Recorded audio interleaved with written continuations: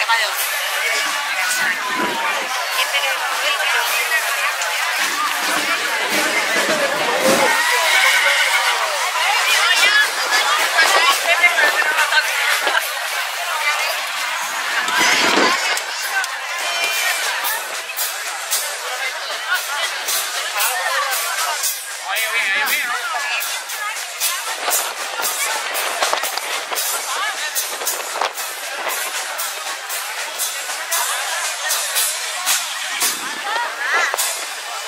acompañado del.